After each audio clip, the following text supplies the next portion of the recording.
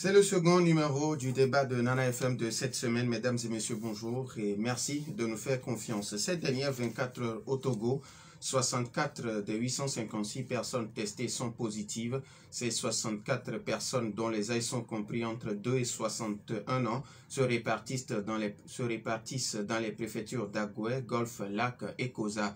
Le nombre total de décès reste inchangé à 245. Le nombre de cas actifs est de 506, soit un total de 320 cas de contamination en 6 jours. Certaines imputent la responsabilité aux variants Omicron qui seraient déjà dans notre pays. Pour parler des sujets, nous recevons sur notre plateau Dr Tagba Chilalou, directeur préfectoral de la santé à Guanivé. Docteur, bonjour. Bonjour. Merci d'être venu répondre aux questions de nos auditeurs. Les auditeurs ont la possibilité de nous appeler sur le 91 09 71 71 ou le 96 61 58 58 à partir de 7h35 minutes ou sur la page Facebook de Nana FM avec Richard Bajodom à la mise en onde de Je suis Norbert Djouradi. Le débat de Nana FM, c'est parti. Bienvenue sur la plus belle dame de Une fois encore, merci pour votre fidélité d'écoute à la 95.5 ou www.nanfm.ntg. Alors, docteur, certaines personnes parlent déjà du variant Omicron qui serait déjà dans nos murs. Est-ce que vous confirmez cette information? Oui, euh, monsieur Nobel, bonjour, bonjour chers auditeurs. Effectivement, le variant Omicron est déjà dans nos murs. Euh, cela a été confirmé il y a quelques jours euh, par rapport à cette disons, quelques échantillons qui ont été testés positifs euh, à ce variant. Et à, à ce jour, nous avons combien de, de cas de, de, ce variant Omicron?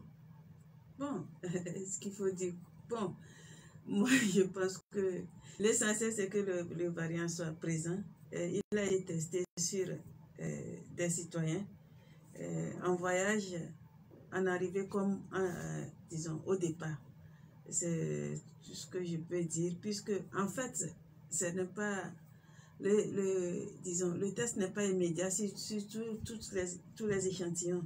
Donc, c'est quelques échantillons qu'on prend et puis euh, on, on, qu'on va tester pour, pour, faire le séquençage pour voir est-ce qu'il y a, c'est-à-dire ce, ce, ce, variant est-ce que ça existe? Alors, euh, oui. est-ce qu'il faut s'inquiéter euh, comme ça avec le, le, variant Omicron dans nos murs? Est-ce qu'il faut s'inquiéter? D'abord, il faut se dire que depuis un certain temps, le, le, virus ne fait que muter. Et c'est en cela que nous devons vraiment nous vacciner. Quand je parle de la vaccination, bon, il est important de se faire vacciner parce que le virus, il mute dans, un, dans des milieux où la population n'est pas euh, protégée. Et il s'installe correctement. Donc avant le, le, variant Omicron, il y avait le variant Delta. Lui aussi, il était tellement contagieux et très dangereux.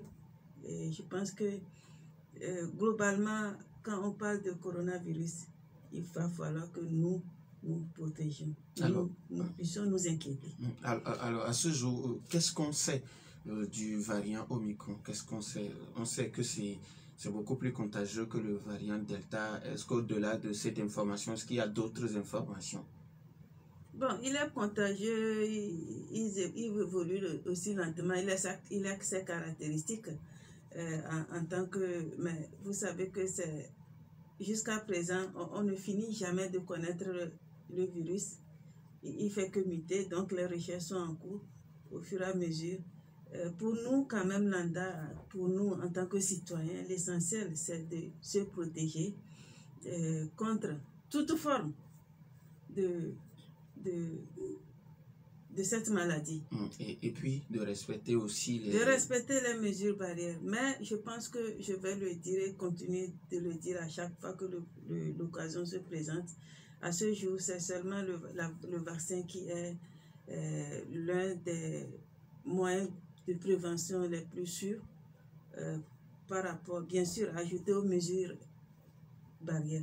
Alors, euh, on parle aussi d'une application pour le pass vaccinal depuis euh, un moment déjà sur les, les réseaux sociaux. Euh, de quoi s'agit-il? Oui, bon, il s'agit d'une application que euh, l'économie numérique a mis en place pour aider chaque citoyen à télécharger, stocker son passe dans son appareil et vérifier aussi tous les passes. Si je suis au Togo, j'ai, euh, je dois vérifier les passes euh, d'une de, de, de mes collaborateurs ou bien de je suis euh, disons j'ai une entreprise je dois vérifier les passes pour que les gens passent. Je peux utiliser cette application pour vérifier les passes de tout le monde qui va entrer dans, dans l'enceinte de, de, de, de mon entreprise. Donc l'application est téléchargeable gratuitement sur Google Play c'est ça et puis ou bien Apple Store Google Play Store ou bien Apple Store. Et il permet quand même de faire bloc à tout ce qui est, est faux. Parce que vous savez que c'est c'est une nouvelle technologie aussi. Non seulement les gens euh, fraudent les cartes physiques mais aussi les cartes euh, numériques mais avec cette application, nous ferons ensemble bloc contre les fraudes, les fraudes à travers le, le code, euh, comment il appelle, Q, Le QR code. QR code. Voilà. Alors, euh, mais dès que je. Ce qui veut dire que tout le monde peut télécharger Oui, l'application. tout le monde peut télécharger l'application euh, gratuitement. Donc, dès que vous téléchargez, euh, est-ce que l'application vous demande les données, votre donnée de vaccination euh, que vous intégrez? Donc, comme ça, celui qui est en face de vous peut facilement vérifier. Oui, vous devez d'abord télécharger votre passe. Hmm. Si vous le téléchargez, vous le stockez dans l'application. Et ça permet à tout le monde, disons, si il, il a téléchargé aussi son application, cette application permet non seulement de garder son propre, sa propre carte euh, sur le plan électronique, mais aussi de vérifier d'autres passes. Il y a des passes euh, vaccinales, vaccinales aussi qui viennent d'autres pays. Ça permet aussi de vérifier les, les passes aussi d'autres pays. D'accord. Alors, madame, on sait aussi que nous sommes en période d'armatan et euh, c'est un peu difficile d'abord de, se réveiller le matin très tôt. Alors, quelles sont les éventuelles maladies qui peuvent survenir en, en ces temps euh, de, où euh, nous connaissons ce vent sec et très poussiéreux? Comme tu l'as dit, euh, l'armatan, c'est un euh, sec. Le, le, le matin, il fait, disons, la journée, il fait chaud. Très et chaud d'ailleurs. très chaud. Et le soir, il fait frais. Et il fait frais et c'est un vent sec qui asséchit, euh, disons, euh, nos, nos muqueuses, la peau. Les muqueuses, je vais parler de, de- de- les narines. Mm. Et, et ça, disons, le vent en question, dans le vent, il y a de la poussière. Il y a de la poussière, ça veut dire qu'il y a des particules végétales, telles que euh, les herbes, les fleurs, les pollens, tout ça là. Il peut y avoir aussi des, des, des particules animales, les déchets. Ça emporte des déchets. Il y a les microbes, il y a les virus, il y a tout ça là qui est dans le vent. Maintenant, euh, l'armatan, le vent lui-même, il assèche nos muqueuses. Donc, je vais parler de, de notre peau, de nos nez, qui se, dessèchent vite, très très euh, vite. Et ça fragilise aussi nos, les vaisseaux sanguins. Et donc, à cette période, souvent, nous, quelles maladies nous rencontrons? Là, Essentiellement, c'est les maladies des voies respiratoires. Je vais parler de la grippe. Je vais parler d'une toux simple, les pneumonies, l'asthme, les bronchites. Je peux, euh, on peut voir aussi la méningite, surtout vers le nord, la, la région septentrionale Mm. et la tuberculose aussi. Donc, euh, c'est essentiellement ces maladies qu'on peut rencontrer pendant la saison euh, de cette saison de la matin. Et surtout que nous sommes en temps de Covid et que les signes Ah oui. de la Covid et puis euh, euh, de, de la grippe saisonnière sont, Vraiment. sont les mêmes. Voilà. C'est vraiment... euh, donc, surtout en ce moment où c'est un moment favorable à la, disons, à l'augmentation des cas aussi. Le, le- le- l'environnement s'y prête. Donc, euh, les maladies respiratoires, la COVID fait partie aussi, fait partie des maladies respiratoires. Donc, essentiellement, ça aussi, nous devons nous... euh, ça fait partie de la maladie qu'on peut rencontrer en cette saison. Et vous voyez que les cas augmentent. Les cas augmentent maintenant qu'on commence par à augmenter. Nous devons vraiment y faire attention. Do- Donc, euh, est-ce qu'on va dire que euh, la plupart de ces cas, ce ne sont pas des cas de Covid, mais des grippes saisonnières où, euh, quand vous faites les tests PCR, on, on arrive à détecter directement la, la Covid et puis les grippes saisonnières? Pour, toute, pour tout symptôme que chaque euh, citoyen présente, pour pouvoir poser un bon diagnostic, c'est à- au médecin de voir. Ce que je peux dire, si tu as une, euh, disons, certains symptômes, tu tousses et tu essaies de prendre quelques produits, ça ne va pas. 48 heures après, il faut te présenter dans un centre de santé.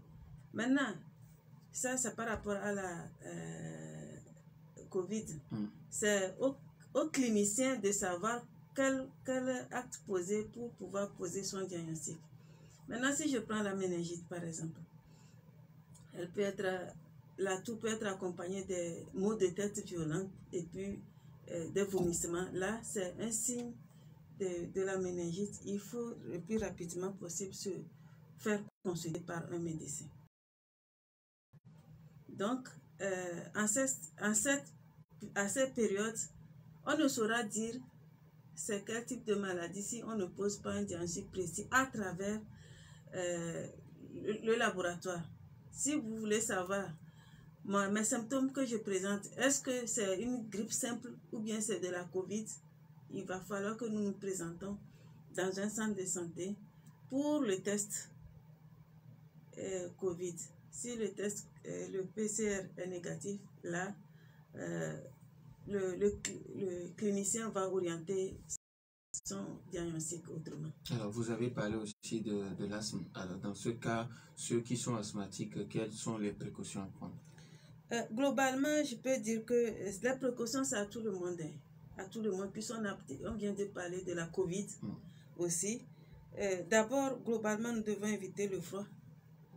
Quand il fait froid, il faut vraiment se couvrir. Nous devons essentiellement, en cette période, nous couvrir, euh, disons, protéger les voies respiratoires. Comment les protéger? À travers les cachinets. Donc, les cachinets, euh, pendant cette période aussi, sont euh, est vraiment, le, le est vraiment important pour nous protéger les uns et les autres contre les maladies respiratoires globalement. À plus forte raison, ceux qui ont, font la- l'asthme, ils doivent se protéger euh, le nez et puis lubrifier le nez pour éviter que ça soit sec avec euh, euh, le, le beurre de karité Mm. ou bien euh, de la glycérine. Dans, dans- on peut trouver ça dans les officines. D'accord. Madame, une question et puis on donne la possibilité maintenant aux auditeurs d'intervenir. Ah, euh, en ces périodes, euh, les gens préfèrent de, de l'eau chaude à, à- l'eau froide. Euh, Est-ce qu'une bonne idée ou ça peut provoquer d'autres maladies? Non, de l'eau tiède. Pas de l'eau chaude. on ne peut pas on- boire de l'eau chaude. Non, on préfère se laver, si vous voulez pas. Ah oui, Ouais. oui, oui, oui, de l'eau tiède, de l'eau tiède, se- habituellement, se laver avec l'eau tiède, bon, ça ne fait que du bien, mais pas trop chaude. Le- L'eau froide, non, pas, pas, pas, pas, c'est pas du tout bien, surtout pour les enfants, c'est pas bon. Les auditeurs ont maintenant la possibilité de nous appeler sur le 91 09 71 71 ou le 96 61 58 euh, 58 euh, 91 09 71 71 ou le 96 61 58 58. Nous avons un premier auditeur en ligne à FM, allô? Bonjour. Pélé. Oui, Hmm. bonjour, madame. Oui, bonjour, monsieur Pelé. Ok. Bon, je pense que le pass vaccinal même, euh, qui peut l'avoir? Est-ce que ceux qui ont seulement le portable ou bien bon Comment le, le Togolais lambda, par ma grand-maman qui est au fond du village d'avant, comment elle peut l'avoir? Le pass vaccinal. Parce que vous parlez d'application là. Euh, les gens ne savent pas ce que c'est que même le vaccinal d'abord. Quand vous demandez de vous êtes détenu avant d'aller à l'église là. Les gens ne savent pas même ce que c'est ça dire. Ouais. L'explication là, est-ce que ça s'arrête seulement à la radio ici Ou bien vous allez composer expliquer bien? Comment la personne va détenir ça? C'est ça qui est important parce que nous, nous sommes en Afrique. Il ne faut pas parler seulement de d'application là, le portable. Ça serait dangereux. Deuxième préoccupation, euh, quand on parle de euh, la nouvelle maladie qui est encore sortie bien. euh, Le nouveau variant. Ouais, ouais, là. Hmm. Bon, euh, moi je n'arrive pas toujours à comprendre. hein. Est-ce que vous lui donnez le nom en avant que la maladie vienne, bien c'est ça vient que vous donnez la- le nom C'est ça là aussi, c'est une explication qu'il faut donner. C'est le même médicament qui va guérir ça. Ou bien ça aussi, ça, son médicament à. Merci. Merci. 91 09 71 71 ou le 96 61 58. Nana FM, allô? Oui, monsieur Garo, bonjour. bonjour, bonjour madame. Oui, bonjour, monsieur Pelé. Bon, madame, pour le pass là, pour nos mamans qui la télé qui vient de parler de ça, moi je crois que quand vous êtes parti, on vous donne une carte. Pour les villageois, ça suffit, non, à moins que tu reprends l'avion. Parce que moi je demande c'est ça. Secondo, moi je me lave avec des choses du de de- de 35 ans, mais depuis de l'autre aujourd'hui. là. Est-ce que ça fait du mal ou bien c'est c'est bon? Merci à vous aussi, monsieur Garo.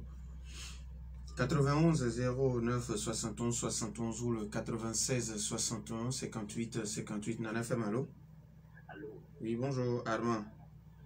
bonjour Norbert, Oui, comment allez-vous? je me porte bien. Hmm. Allez-y avec votre question. Hmm.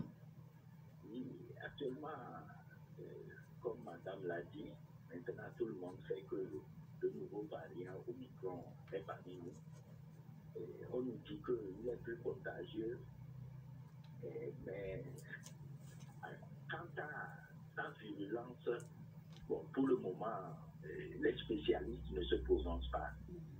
Dans ce cas, qu'est-ce que les autorités prévoient de plus? Ou bien bon, on garde toujours euh, les mesures barrières plus euh, la vaccination.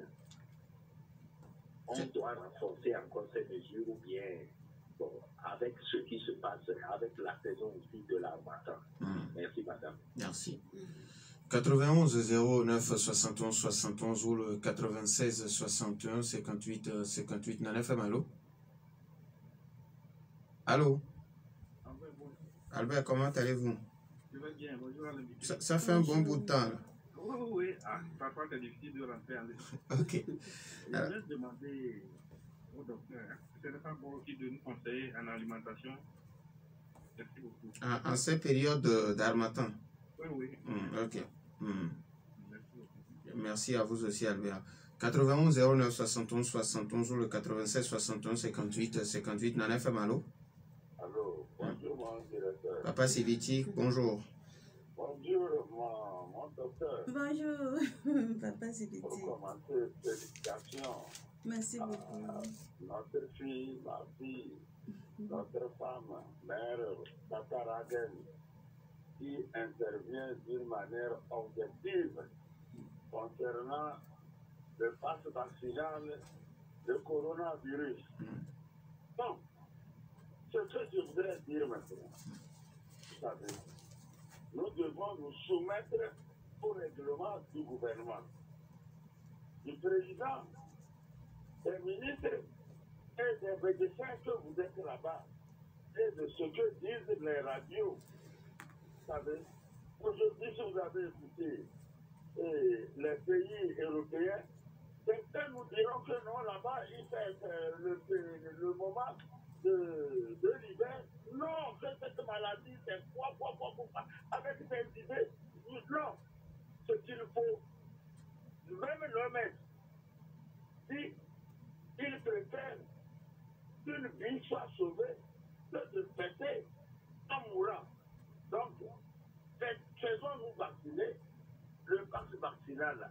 Est-ce qu'avant, il y a le coronavirus, le gouvernement a pris la décision de dire nous allons consulter et contrôler? Moi, je suis musulman. Il n'est pas normal que j'aille faire me laver les mains avant de rentrer dans, à, euh, à la mosquée. Mais c'est la situation, même au temps de Mahomet, au temps de Jésus, ça a été dit que dans la vie, quand il y a une euh, pandémie, les gens doivent se référer au, au dire des, des, des, des- des religieux. Merci beaucoup. Merci à vous aussi. 91 09 71 71 ou le 96 61 58 58. Les auditeurs peuvent continuer à nous appeler. Alors, docteur euh, Pelé qui demande, euh, surtout par rapport au pass vaccinal, est-ce que, euh, d'abord, est-ce que vous êtes déjà allé euh, auprès des chefs quartiers pour qu'on puisse gongonner et parler de ce qui est le pass vaccinal et comment l'obtenir? Et les vaccinations ou bien la sensibilisation se fait sûrement sur les médias En fait, il faut, il faut dire que nous sommes dans un milieu euh, urbain et rural. Donc, et tout le monde ne possède pas les androïdes. Donc, ce que nous demandons, c'est que les, au niveau des villages, que cito- tous les citoyens togolais puissent se faire vacciner et avoir une preuve vaccinale. Si tu n'as pas d'Android, tu ne peux pas télécharger cette application. Donc, c'est beaucoup plus comme un intervenant l'a dit, c'est beaucoup plus euh, un milieu urbain où la population est concentrée et lorsque on veut voyager. Donc, c'est utile d'avoir, euh, de télécharger ça. C'est plus commode et puis ça permet de faire barrière à, à disons, aux fraudes comme je l'ai dit, mon, mon, mon, mon grand-père au village n'a pas d'Android, Mhm. donc il ne pourra pas. Tout ce que nous, nous demandons aux villageois, c'est de se faire vacciner et d'avoir une preuve vaccinale, une carte vaccinale. Et maintenant, si je vais parler de, des variants, est-ce que nous allons... C'est vrai, c'est beaucoup plus scientifique. Nous, ce que nous devons comprendre, c'est que le virus, il n'est pas stable. Il mute, il change de forme. Et donc, en ce sens-là, nous devons nous faire vacciner. Et lorsque nous nous faisons vacciner, nous empêchons, nous, nous, donnons l'immunité, nous donnons la chance à notre, euh, disons, à notre corps de lutter contre les formes graves. Certes, tu peux toutefois contracter la maladie par rapport au, au mutant, au variant. Mm. C'est-à-dire le, le virus qui change de forme, qui change de, Tu peux le contracter. Mais cependant, la vaccination euh, te permet de ne pas faire les formes graves. La preuve, lorsque nous avons continué, commencé par faire la vaccination, le nombre de cas graves a diminué jusqu'à les, les décès. Vous avez vu entre-temps, si nous regardons la courbe d'évolution, c'est ainsi. Donc, ça permet aussi de ne pas transmettre la maladie tout autour de soi et de protéger les autres. Donc, ça réduit la transmission. Donc, il est important, euh, quel que soit le type de variant, je pense que nous devons nous faire euh, vacciner. Monsieur Gado qui euh, demande qu'il se douche avec de l'eau chaude depuis Oui. près de 35 ans déjà. Est-ce que ça aura des Non, effets non, sur sa santé? Non, non, non. Le chaud, ça ne fait que du bien. Donc, euh, pas trop chaud, comme, comme je, je l'ai dit, pour, ne pas se faire brûler. Mhm. Donc, euh, une eau tiède, je pense qu'il n'y a pas de souci. Maintenant, si on veut parler des conseils alimentaires, je pense que ça va faire l'objet d'une autre émission. Mais quand même, Ce que euh, je peux, peux dire maintenant, c'est qu'il faut euh, se réhydrater assez. Pendant cette, euh, euh, l'armatan, il faut beaucoup boire de l'eau. Et de l'eau tiède, pas de l'eau, de l'eau fraîche, quoi. De l'eau tiède. Donc, il faut, oh, nous conseillons dans la journée de boire euh, au moins un litre et demi d'eau, mais le boire à petits coups, pas rester Sur place et sur puis place boire et un boire demi-litre d'eau dans toute la journée. Lorsqu'on boit aussi, on élimine euh, et ça permet aussi aux organes de se réhydrater. Alors, euh, Armand qui euh, dit, demande la question d'Armand par rapport à la virulence de la maladie, on ne se prononce pas. Alors, quelles sont euh, les mesures que les autorités togolaises ont prises? Alors, est-ce qu'il faut se contenter de, de lancer des, des, des mesures déjà existantes ou bien Ah oui, alors il faut corser Donc, voilà un peu. il faut corser par le, par le, disons, par la vaccination. Mm. Les mesures euh, étaient déjà prises, les mesures restrictives que nous- n'arrivons pas à respecter. Le port de masque, la distanciation physique et sociale, le lavage systématique des mains. Nous nous rendons compte que devant euh, les, bâtiments, le- dispositif existe, mais il est, il est sec. Il n'y a pas d'eau, ou bien il n'y a pas de savon, ou bien il est en panne.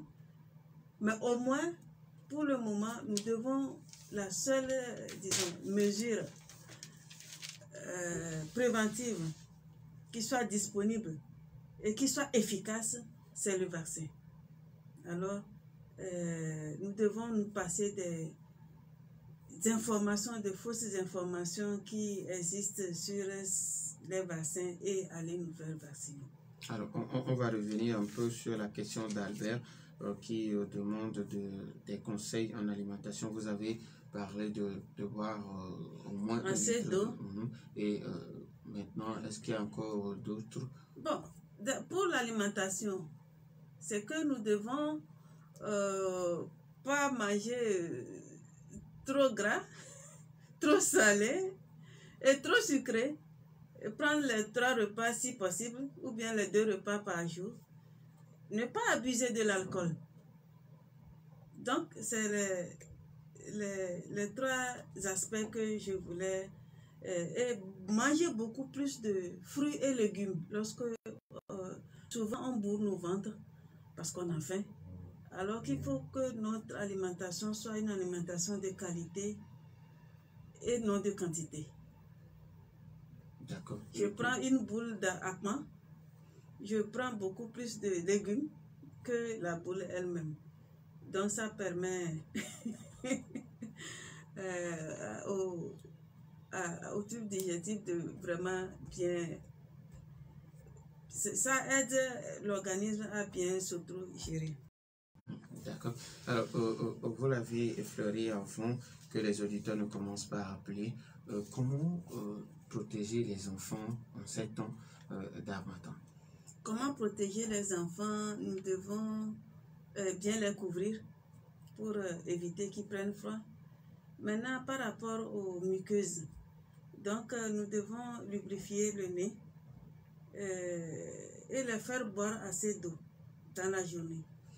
J'ai j'ai parlé de, de la glycérine ou bien de, du beurre de karité qu'on trouve dans les marchés, juste un peu au niveau du nez, pour ne pas permettre à ce que les muqueuses du nez s'assèchent, afin que les, disons, les, les bactéries, tout ça là, puissent trouver une faille. Je voulais parler de la vaccination. Ces derniers temps aussi, les moyens de prévention pendant l'armatan aussi, c'est de se faire vacciner. Vaccination contre la méningite, vaccination contre la grippe, vaccination contre la Covid. Donc ça fait partie des moyens de prévention aussi pendant cette saison euh, de, de, de vent sec. Les auditeurs ont toujours la possibilité de nous appeler sur le 91 09 71 71 ou le 96 61 58 euh, 58 pour poser d'éventuelles questions, que ce soit par rapport à la maladie à coronavirus ou encore euh, par rapport à l'armatan. Alors, docteur, euh, revenons toujours à la maladie à coronavirus. Aujourd'hui, euh, quelle est la situation de la vaccination dans notre pays? Est-ce que les gens continuent toujours pas à affluer dans les centres de vaccination ou il y y a arrêt? Non, je peux, il n'y a pas arrêt. Il n'y a pas arrêt. L'affluence est constante. Donc, elle n'est pas des grands jours comme entre-temps avec le, les, décisions de contrôler les passes, ça a été. Mais les gens affluent, mais ce n'est pas vraiment euh, ça. Nous avons encore du pain sur la planche. Nous avons beaucoup de vaccins que le gouvernement a pu acquérir. Et ce n'est pas le cas dans tous les pays. Il faut dire que beaucoup de pays attendent des vaccins, mais qui ne, qui ne trouvent pas. Donc, nous avons euh, le, les vaccins. Nous avons le personnel aussi qui est disponible pour euh, travailler. Et donc, euh, l'affluence n'est pas des grands jours. Je voulais profiter de cette Ah. Avant que vous ne parlez, nous Oui. allons recevoir euh, un, un dernier auditeur. FM, allô? Oui, allô? Bonjour. Oui, bonjour. Votre et si de... une question qui pourrit depuis trois semaines, je n'ai pas de réponse. Hmm. Qu'en est-il de la troisième dose Nous qui avions commencé tôt, on est déjà à sept mois. Maintenant, mais non pas de troisième, je rappelle à faire à partir du troisième mois. Qu'en est-il D'accord. Qu'en est-il Mais si elle n'a pas la réponse, il faut qu'on lui dise quelque chose. J'ai D'accord. fait tous les centres, parce que je suis personne vulnérable. J'ai fait tous les centres.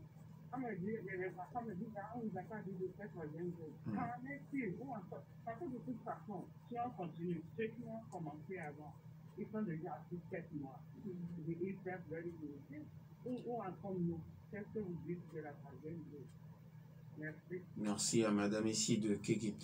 91 09 71 71 ou le 96 61 58 euh, 58. Alors, docteur, Madame ici de Kégué qui euh, demande quelle est une personne vulnérable, à quand sa troisième dose ou la dose de rappel? Oui, en, en fait, les, euh, disons, euh, le temps a été donné par les autorités pour la troisième dose. Ça, on est sûr.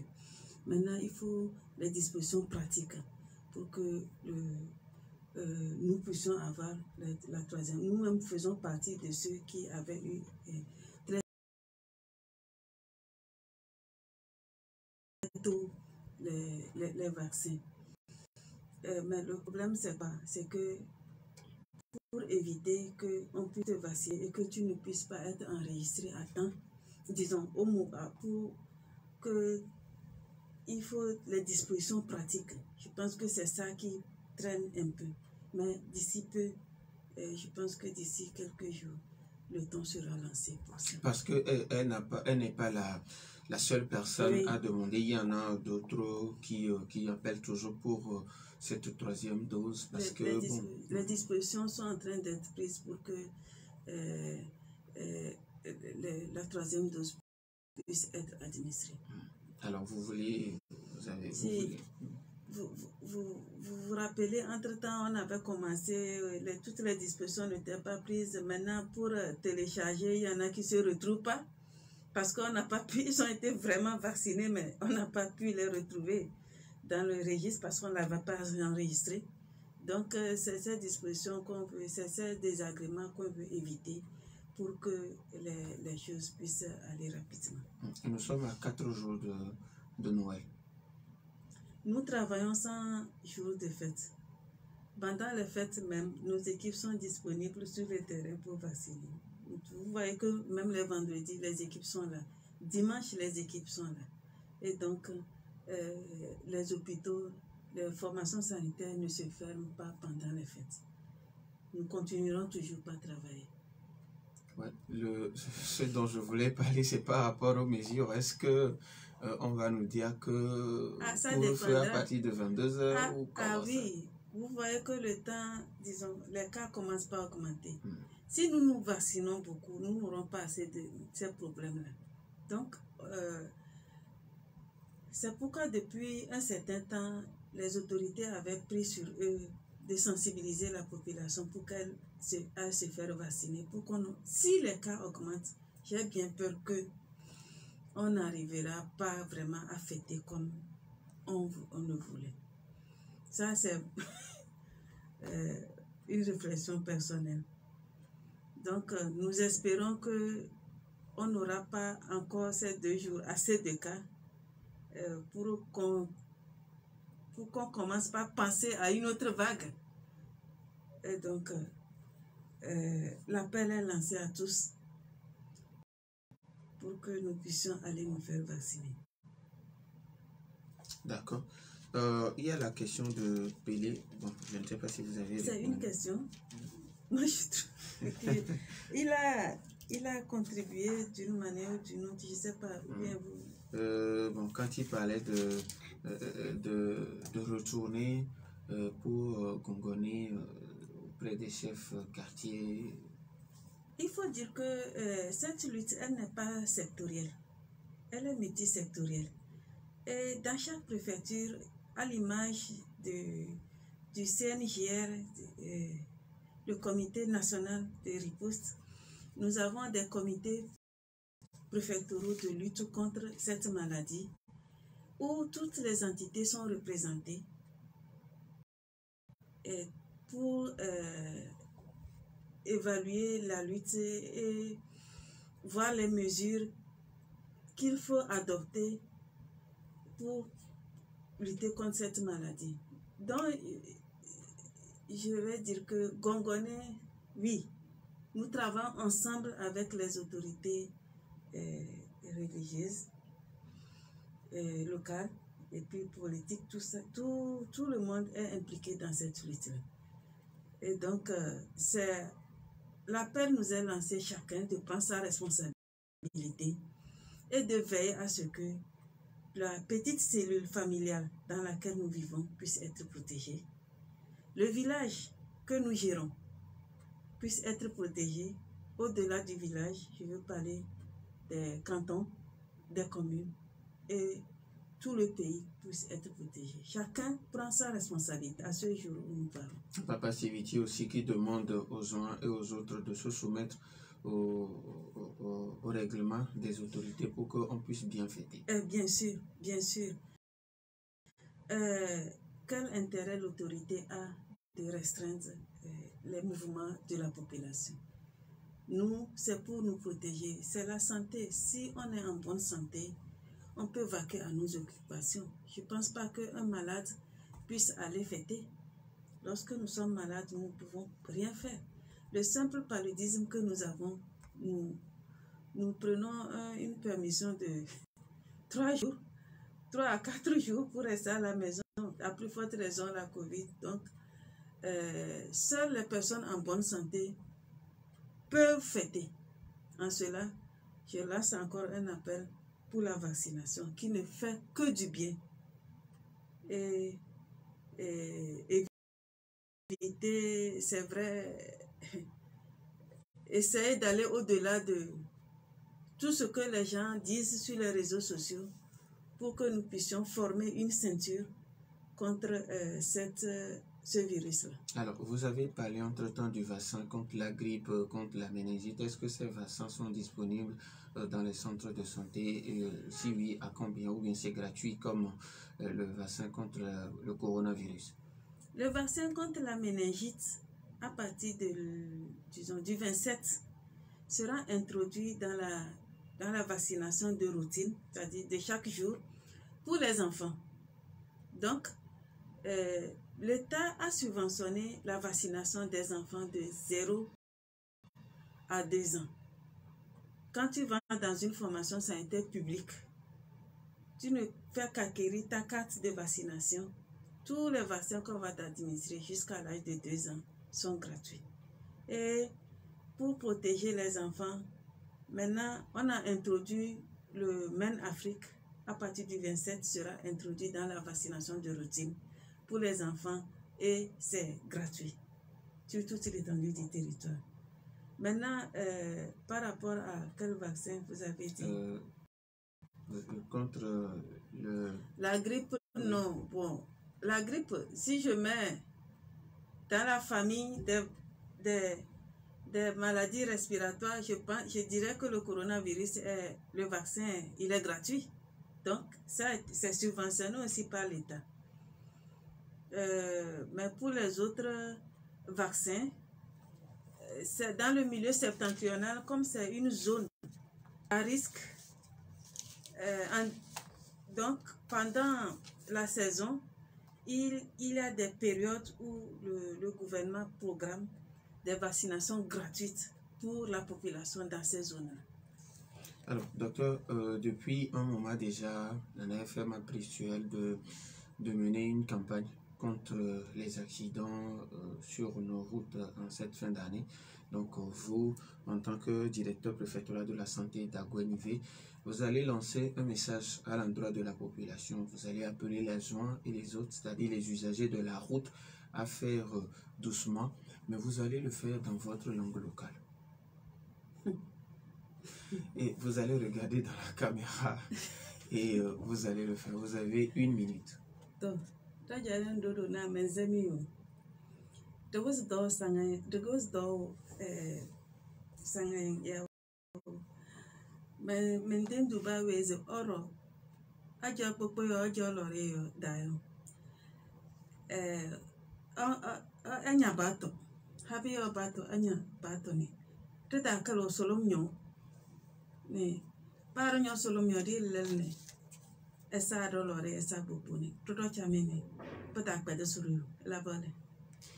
Merci au docteur Tagba Chilalou, directeur préfectoral de la santé d'Agonivé. Merci à vous aussi pour votre fidélité d'écoute à Nana FM. Fin de ce débat mis en onde par Richard Bajadom.